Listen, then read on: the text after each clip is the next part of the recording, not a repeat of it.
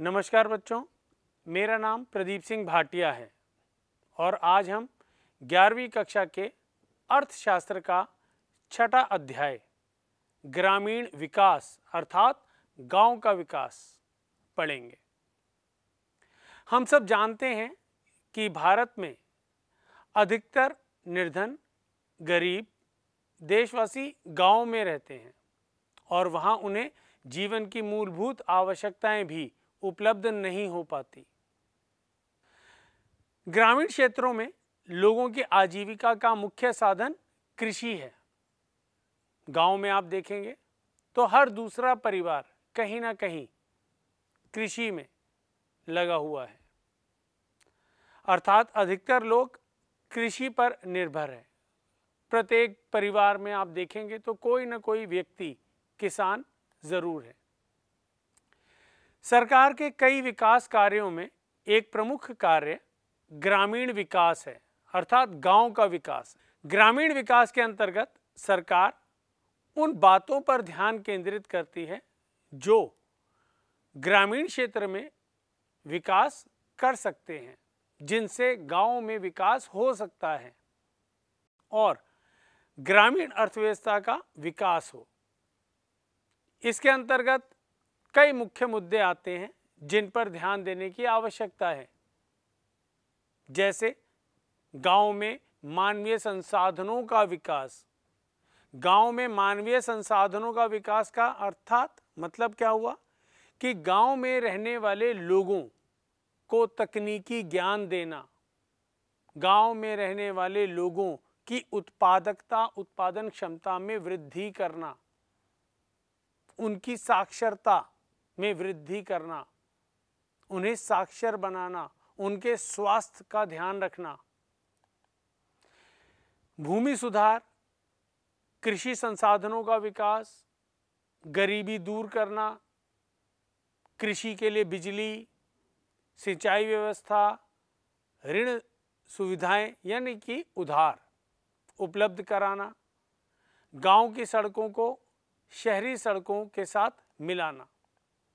यह कई ऐसे मुद्दे हैं जो एक अर्थव्यवस्था में बहुत ज़रूरी हैं। यदि गाँव में तरक्की करनी है तो इन सभी क्षेत्रों के बारे में ध्यान देना होगा। हमने देखा है कि पिछले कई वर्षों में भारत के सकल घरेलू उत्पाद में कृषि क्षेत्र का योगदान लगातार कम होता जा रहा है। लेकिन कृषि क्षेत्र में लोगों की जो निर्भरता है, उसमें कोई गिरावट नहीं आई। वह उतनी ही है, लगभग। लेकिन कृषि क्षेत्र की उत्पादकता, वह लगातार प्रति वर्ष घटती जा रही है। शायद इसका कारण सार्वजनिक निवेश में कमी होना है। मतलब कि सरकार की योजनाओं की कमी होना है। सरकारी क्षेत्र को ग्रामीण क्षेत्रों में विकास करने के लिए हस्तक्षेप ज़रूरी है। अब मैं आपको ग्रामीण क्षेत्रों में, यानी गाँव में, ऋण की स्थिति के बारे में बताता हूँ। किसान को अपनी फ़सल के लिए पैसे की ज़रूरत होती है। कृषि क्षेत्र में किसानों को ऋण बहुत आवश्यक होता है। क्योंकि खेती के लिए किसान को बीज चाहिए, रसायन चाहिए, औज़ार चाहिए, बिजली चाहिए, पानी चाहिए और इसके लिए किसान को कहीं ना कहीं धन की ज़रूरत पड़ती है, पैसे की ज़रूरत पड़ती है। अब फ़सल को बीजने से लेकर फ़सल के तैयार होने में बहुत लंबी अवधि होती है। किसान आज फ़सल बीजता है। उसके बीजन में किसान का व्यय होता है। और किसान उस फ़सल को बाज़ार में बेचकर अपना लाभ कमाएगा, उस लागत को पूरी करेगा। परंतु इसमें बहुत अधिक समय लगता है। लेकिन इस बीच में किसान को अपने परिवार की मूलभूत आवश्यकताओं को तो पूरा करना है। अपने घर में राशन, खाना, बच्चों की ज़रूरतें पूरी करना, कई चीज़ों के लिए किसान को पैसे की ज़रूरत पड़ती है। सरकार द्वारा निरंतर यह प्रयास किया जाता है कि किसान को आसानी से ऋण मिल सके। सरकार ऐसी नीतियाँ भी बनाती है कि फ़सल बोने के समय किसान को ऋण दे दिया जाए और जब वह किसान अपनी फ़सल को बाज़ार में बेचेगा और जो उसे धन प्राप्त होगा, उस धन से वह सरकार या बैंक का ऋण चुका देगा। किसान को अपनी फ़सल बेचने से जो भी पैसा मिलता है, धनराशि प्राप्त होती है, उसमें बहुत लंबा समय लग जाता है। हमने देखा है कि स्वतंत्रता के समय बड़े बड़े महाजन, व्यापारी कहीं ना कहीं भूमिहीन या छोटे जो किसान हैं, उन्हें ऊँची ब्याज दर पर ऋण देते थे और खातों में हेरा फेरी करते थे। कहीं ना कहीं छोटे किसानों की भूमि यह बड़े किसान हथिया लेते थे। भारत में सन उन्नीस सौ उनसठ में सामाजिक बैंकिंग आरंभ हुआ, जिसके अंतर्गत ग्रामीण क्षेत्रों के लिए धन की आवश्यकता की पूर्ति के लिए कदम उठाए गए। किसान की ऋण की आवश्यकताओं को पूरा करने के लिए सरकार ने कई योजनाएँ बनाई। कई बैंकों का निर्माण किया, कई बैंकों की स्थापना की, ताकि किसान को आसानी से कम से कम ब्याज दर पर ऋण मिल पाए, जिससे कि किसान कहीं ना कहीं जो महाजन या बड़े ज़मींदार, बड़े किसान होते थे, वह छोटे किसानों का शोषण करते थे तो वह शोषण कहीं ना कहीं बंद हो जाएगा। 1982 में सरकार ने राष्ट्रीय कृषि और ग्रामीण विकास बैंक, इसे नाबार्ड कहते हैं, इसकी स्थापना की थी। यह बैंक एक प्रकार से कृषि क्षेत्र का केंद्रीय बैंक है। जैसे भारत का केंद्रीय बैंक, भारतीय रिज़र्व बैंक, ऐसे ही कृषि क्षेत्र का केंद्रीय बैंक नाबार्ड है, जो कृषि क्षेत्र के लिए किसानों को कम ब्याज दर पर ऋण उपलब्ध कराता है। नाबार्ड के अंतर्गत कई छोटे छोटे बैंक आते हैं। नाबार्ड इन छोटे छोटे बैंकों को कई प्रकार की योजनाओं को लागू करने के लिए कहता है।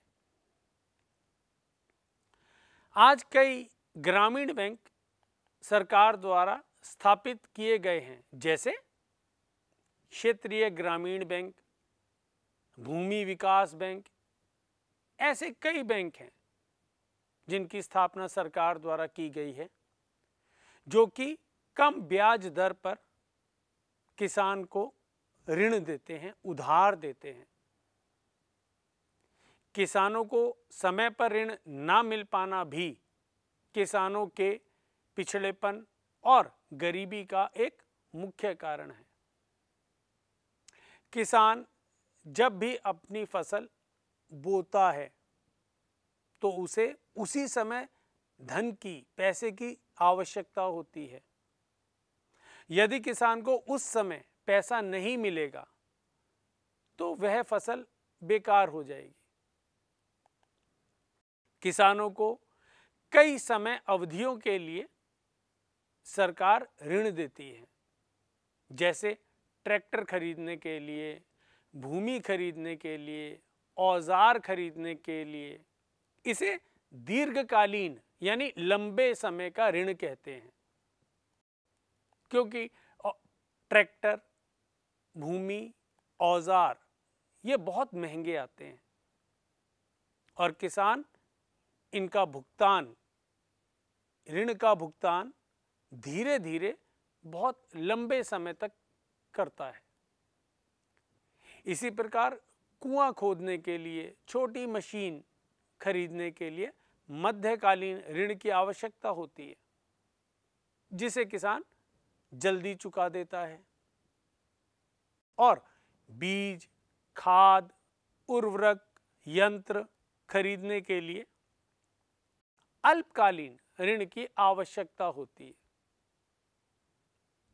अर्थात अल्पकालीन ऋण वह जो तकरीबन किसान एक या दो साल में उस ऋण को चुका देता है। गाँव में ऋण के लिए कई स्रोत हैं। इन्हें मुख्य रूप से दो भागों में बांटा जाता है। जैसे संस्थागत स्रोत और गैर संस्थागत स्रोत। गैर संस्थागत स्रोत के अंतर्गत गाँव में रहने वाले बड़े बड़े व्यापारी, महाजन, बड़े जमींदार आते हैं, जो किसानों को अधिक ब्याज दर पर उधार देते हैं, ऋण देते हैं। भारत में आज़ादी के समय यही सब लोग किसानों को किसी न किसी रूप में ऋण देते थे और उनका शोषण करते थे। प्रत्यक्ष, अप्रत्यक्ष रूप से उनकी भूमि हथिया लेते थे। समय बीतते बीतते सरकार ने संस्थागत स्रोत, संस्थागत क्षेत्र बनाए। संस्थागत क्षेत्रों के अंतर्गत कई प्रकार के सरकारी बैंक, सरकारी समितियाँ आती हैं। वाणिज्य बैंक भी कहीं ना कहीं किसानों को ऋण देता है। आज बहुत से संस्थागत क्षेत्र हैं जहाँ से, अर्थात बैंक, जहाँ से एक किसान आसानी से ऋण ले सकता है। लेकिन कई बार किसान को अपनी निजी आवश्यकताओं को पूरा करने के लिए गैर संस्थागत क्षेत्र अर्थात महाजन या बड़ा किसान, उनसे ऋण लेना पड़ता है, जो आज भी इनसे बहुत अधिक ब्याज दर वसूल करते हैं।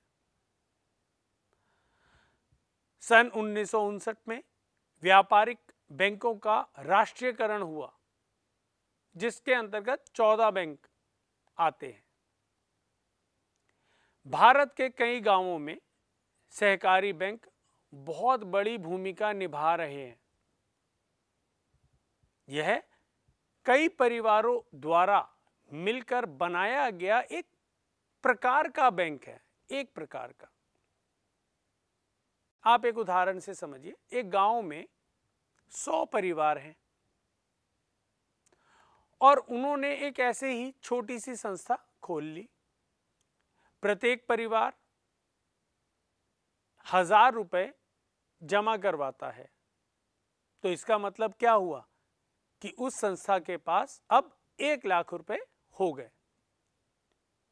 अब यदि गाँव में, अर्थात उन सौ परिवारों में से किसी परिवार को कुछ धनराशि की ज़रूरत पड़ती है तो वह उस संस्था अर्थात उस एक लाख रुपए में से धनराशि ले सकता है और बैंक द्वारा निर्धारित ब्याज दर से भी कम ब्याज दर वह उस संस्था को देगा, जिससे कहीं ना कहीं कुछ समय पश्चात उस संस्था के पास एक लाख रुपए से अधिक धनराशि हो जाएगी। और वह बहुत आसान किश्तों पर भी उस संस्था को यह धन लौटा सकता है। कई क्षेत्रों में, कई गाँवों में इस प्रकार की संस्था स्वयं गाँव द्वारा, गाँव के मुखिया द्वारा चलाई जाती है। इसे स्वयं सहायता समूह कहते हैं। आज लगभग इस समूह में छह करोड़ महिला सदस्य हैं पूरे भारत में। और कई महिला सदस्य स्वरोजगार के लिए इस संस्था से ऋण लेती हैं, जिससे वो लघु उद्योग खोल लेती हैं, जो एक परिवार में सभी संचालित भी कर लेते हैं। इसका फ़ायदा ये है कि भारत में कहीं ना कहीं महिलाओं का सशक्तिकरण हुआ, उसमें बहुत अधिक सहायता मिली। अब मैं आपको नाबार्ड के बारे में थोड़ा सा बताता हूँ। सन उन्नीस सौ उनहत्तर में भारत के केंद्रीय बैंक यानी भारतीय रिज़र्व बैंक ने ग्रामीण क्षेत्रों में साख के सुधार के लिए एक कमेटी बनाई थी। और इस कमेटी ने अपनी रिपोर्ट उन्नीस सौ इक्यासी में दी। सरकार को उस कमेटी की सभी बातें सही लगी। सरकार को लगा कि इस कमेटी के आधार पर कहीं ना कहीं ग्रामीण क्षेत्रों का विकास हो सकता है। तब 1982 में सरकार ने नाबार्ड नाम से एक संस्था बनाई। मैंने अभी आपको बताया कि यह संस्था एक प्रकार से ग्रामीण क्षेत्रों के बैंकों का केंद्रीय बैंक है। अभी हमने कृषि क्षेत्र में ऋण के बारे में पढ़ा।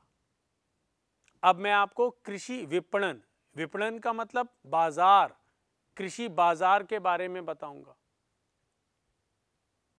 आज शहरों में या गाँवों में लोग अनाज, फल, सब्ज़ी, दूध मतलब रोज़मर्रा की चीज़ों का उपभोग करते हैं। अब आप सोचिए कि अलग अलग राज्यों से अलग अलग क्षेत्रों से होते हुए यह सभी चीज़ें हम तक पहुँचती कैसे हैं? वास्तव में इनका एक बाज़ार होता है।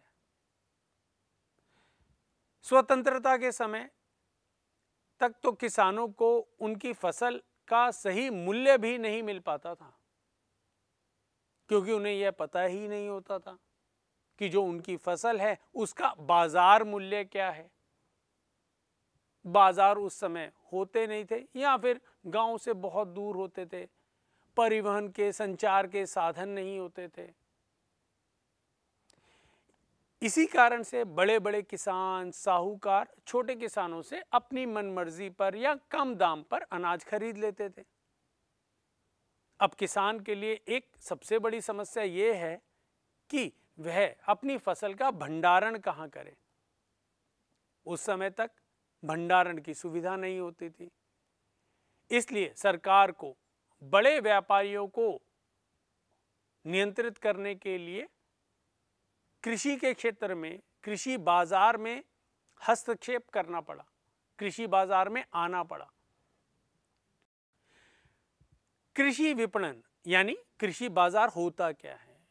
कृषि बाज़ार के अंतर्गत फ़सल कटाई के बाद इकट्ठा करना, उसकी पैकिंग करना, उसका भंडारण करना, उसे एक स्थान से दूसरे स्थान तक ले जाना, मंडियों में उसकी उपलब्धता करना प्रत्येक फ़सल की कीमत तय करना, ये सभी क्रियाएँ आती हैं। इसके अतिरिक्त भी कई क्रियाएँ कृषि बाज़ार में आती हैं।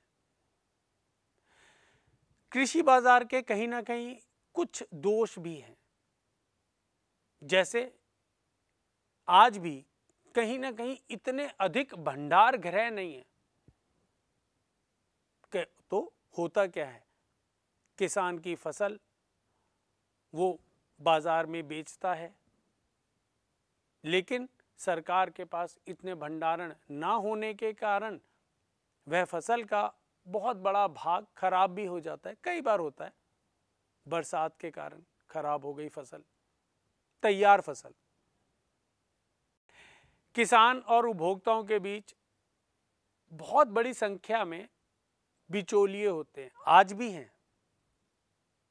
जो बहुत से काम करते हैं और बहुत अधिक लाभ कमाते हैं।